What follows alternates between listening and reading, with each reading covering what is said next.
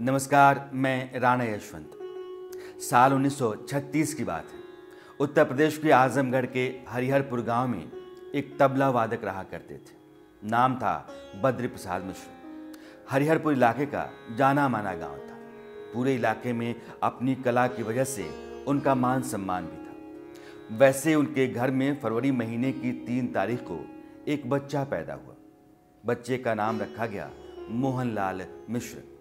पिता ने बचपन से ही बच्चे को संगीत की तालीम देनी शुरू की। उनकी ख्वाहिश थी कि बेटा एक गुणी कलाकार बने। बड़ा होकर परिवार का नाम करे। परिवार की आर्थिक हालत बहुत अच्छी नहीं थी। लेकिन पंडित बद्री प्रसाद मिश्र अपने बेटे के संगीत पर पूरा ध्यान रखते थे। बेटा भी आठ नौ साल का ही हुआ था कि पंडित जी का तबादला मुजफ्फरपुर हो गया। नया शहर था, नया माहौल भी। पंडित बद्री प्रसाद मिश्र अपने बेटे को लेकर उस शहर में, यानी मुजफ्फरपुर में, किराना घराने के कलाकार अब्दुल गनी खान के पास गए। पंडित जी ने उनसे गुजारिश की कि वो उनके बेटे को शास्त्रीय संगीत की अच्छी शिक्षा दें, उनको तालीम दें। गुरुजी मान तो गए, लेकिन उनसे संगीत सीखना इतना आसान नहीं था। इसका किस्सा भी आपको आगे बताएँगे, लेकिन ये बता दें कि बच्चे का नाम उसकी गुरु माँ ने बदल दिया।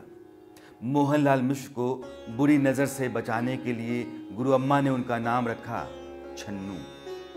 आज वही छन्नू दुनिया भर में छन्नू लाल मिश्र के नाम से जाने जाते हैं। दरअसल छन्नू नाम रखे जाने के पीछे की सोच थी कि उन्हें छह तरह के विकारों से दूर रखा जाए।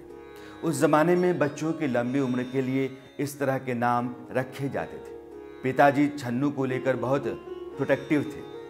उनके जहन में हमेशा एक ही बात रहती थी कि इस बच्चे को बड़ा होकर परिवार का नाम रोशन करना है। अपने बचपन का एक किस्सा छन्नू लाल जी बड़े चाव से बताते हैं। जब एक बार वो गाँव के बच्चों के साथ तालाब के पास से गुजर रहे थे, गर्मी के दिन थे। उनके साथ जो लड़के गए थे, वो तालाब में कूद गए और तैरने लगे। गर्मी थी ही, छन्नू लाल जी को भी पानी में कूदने का मन कर गया। वैसे गाँव में तैरना ज़्यादातर बच्चों को आता है और छन्नू लाल को भी आता था। लेकिन पीछे से उनके तालाब में तैरने की खबर पिताजी तक पहुँच गई और पिताजी आ गए। उन्होंने छन्नू लाल की पिटाई कर दी। उस रोज पिटाई के बाद उनके पिताजी ने कहा, अभी तालाब में तुम डूब जाते तो बड़े होकर नाम रोशन कैसे करते? तब समझ में आया कि पिटाई हुई क्यों थी। खैर, संगीत सीखने का क्रम भी छन्नू लाल मिश्र के लिए आसान नहीं था। छन्नू लाल भरी दोपहरी में गुरु के यहाँ जाते थे। वहाँ पहुँचने पर उस्ताद जी कहते, जाओ खाना बनाने के लिए लकड़ी ले आओ। छन्नू लाल वापस उसी चिलचिलाती दोपहरी में लौटते और गुरु के लिए लकड़ी लेकर आते। कंधे पर लकड़ी लाद कर छन्नू लाल जब लौटते तो उस्ताद जी बड़े अनमने भाव से कहते, ये बताओ ये लकड़ियाँ तो गीली हैं। इन्हें कैसे जलाया जाएगा? इतना कहने का मतलब यही होता था कि तुम अब दोबारा जाकर लकड़ियाँ ले आओ। इतनी मेहनत करके पसीने पसीने होकर आने के बाद दोबारा पूरी मेहनत करना, ये कम मुश्किल काम नहीं था। एक दिन गुरु माँ ने खां साहब से पूछ ही लिया, इस लड़के को इतना परेशान तुम करते क्यों हो? उस्ताद जी ने तुरंत जवाब दिया मैं संगीत सीखने की उसकी लगन को परखना चाहता हूँ। गुरु माँ छन्नू को बहुत प्यार करती थी, लेकिन वो भी चुप हो गई। देखते देखते कब आठ नौ साल निकल गए, पता ही नहीं चला। छन्नू लाल मिश्र ने करीब नौ साल तक उस्ताद जी से शास्त्रीय संगीत की बारीकियाँ सीखी। धीरे धीरे उस्ताद जी को छन्नू लाल की लगन और काबिलियत पर भरोसा हो गया। छन्नू लाल की गायकी के अंदाज की चर्चा भी होने लगी। उस्ताद जी ने छन्नू लाल को अपनी सगी संतान की तरह ही सिखाया। जब उस्ताद जी आखिरी सांस ले रहे थे तो उन्होंने छन्नू लाल को आवाज़ दी। छन्नू छन्नू भागते हुए उनके पास गए। उनके सिर को अपनी गोद में रखा और कुछ ही देर बाद उस्ताद जी ने दम तोड़ दिया।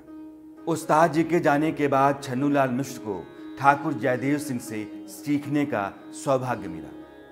वो भी संगीत के अद्भुत जानकार थे। उन्होंने छन्नू लाल मिश्र को और तराशा।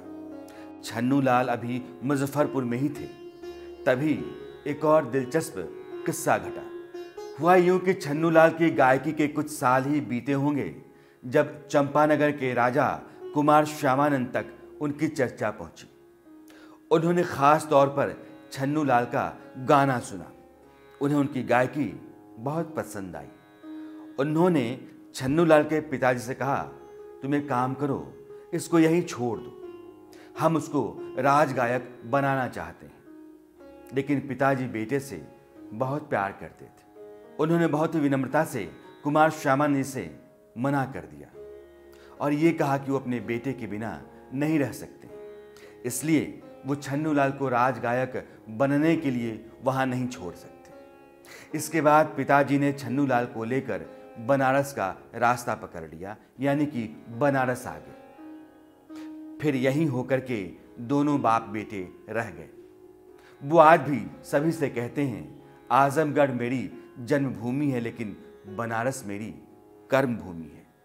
पंडित छन्नूलाल मिश्र की गायकी का सबसे मज़बूत पक्ष ये है कि श्रोताओं से उनका कनेक्ट बहुत तगड़ा होता है, बहुत मज़बूत होता है।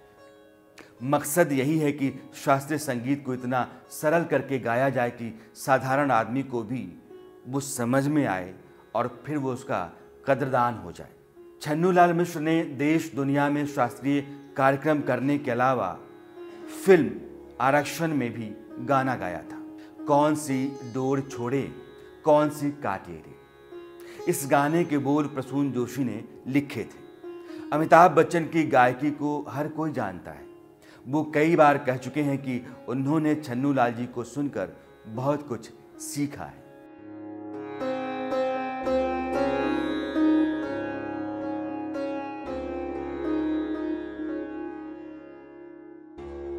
हमारी रिक्वेस्ट है कि आप हमारे साथ हमारे वीडियोस को लाइक कीजिए शेयर कीजिए। आप हमारे साथ ट्विटर और फेसबुक पे भी जुड़ सकते हैं।